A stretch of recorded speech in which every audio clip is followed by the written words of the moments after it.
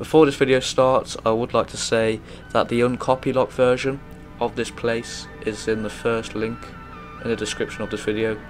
So if you don't want to just follow this video tutorial, then you can just download the place file from that experience.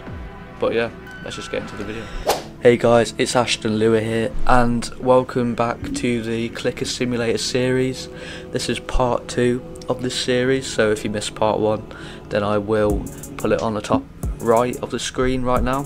So click that to see part one.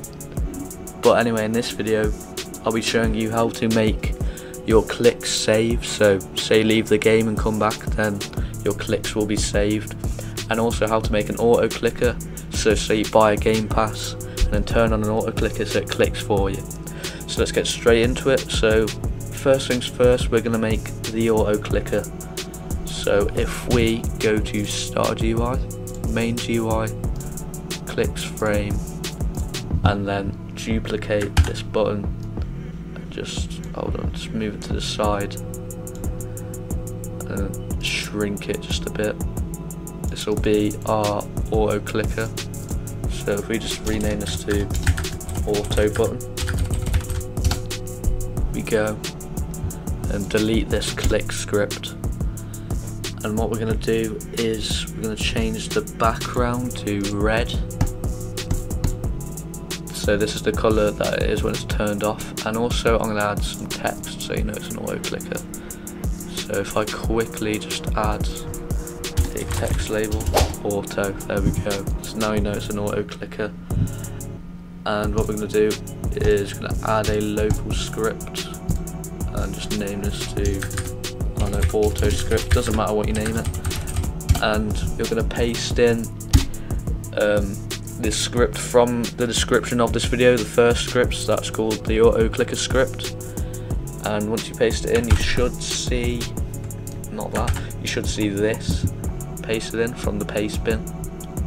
So you might be a bit you know um, overwhelmed by all the code but it's pretty simple. Basically the only thing you need to change is this this is the ID of your game pass your auto clicker game pass so you're going to want to make a game pass first so let me do that real quick and I'll get back to you 2,000 years later. Right guys, I was tweaking out for about 10 minutes because I put the wrong ID in. oh my god.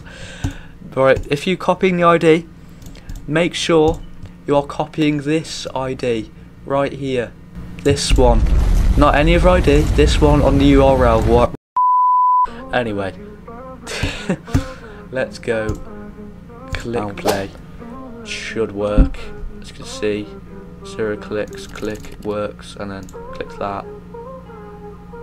And it starts auto clicking. Obviously, it is a bit slow, so if you do want to change it so it's a bit quicker, you can go out of here, go back into the script, and change this wait to something like 0.5 maybe. And then click play again, and go to the auto clicker. As you can see, it's a bit quicker with the auto click, and you can click at the same time. So that is the auto clicker done. So now we can do the saving the leader stats, saving the clicks, whatever you want to call it. So if we click out of these, go to server script service, click the plus, add a script to here to delete stats. Right, so once you've done that, paste it in here. You don't have to change any of this script, it will just work as normal. As long as you go to game settings, go to security, and make sure you have enable studio access to API services turned on. So basically just, just lets data stores work so everything can save. So if we click play and add some clicks to our player, add, there we go, 35 clicks, and click stop and go back into the game. As you see, we keep the 35 clicks so it is saved and this will work in the real game, not just in studio. I mean, this will carry over to studio, to the game. So yeah, that's pretty much it for this tutorial. If you enjoyed this episode, please let me know and I'll make a part 3. And yeah, I'll see you in the next video.